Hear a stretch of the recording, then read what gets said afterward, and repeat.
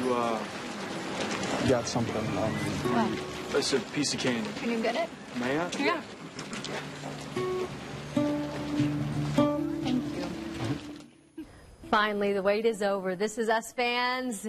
It's back. The Pearsons on NBC tonight. It has been six months since that season finale aired in March, and it turns out the cast is just as excited as the fans are for tonight's return. So tonight, Stephanie Stanton gives us a look ahead of what we can expect now in the much awaited season three.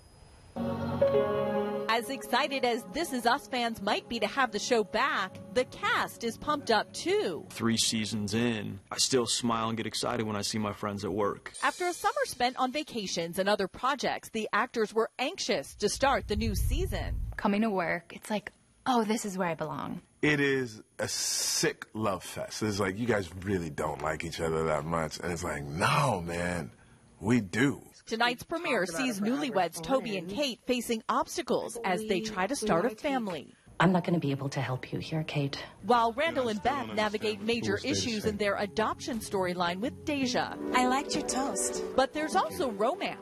You two are knocking boots. Beth objects to her cousin Zoe's connection with Kevin. They kind of hit it off right away, and they have a chemistry, and they're getting along, and they're having fun. And flashbacks show the beginning of Jack and Rebecca's courtship. They have candy apples. There's like a bit of two steps forward, one step back with Jack and Rebecca initially. And even I don't know how they really decide to like give it a go. Jack's days in Vietnam are also explored, and eventually that season finale flash forward with Randall. It's time to go see her, Tess.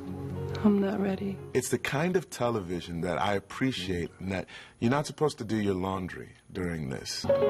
And tonight's season premiere will likely put household chores on hold. NBC is expecting huge viewership for the season three premiere, possibly even more than season two's finale.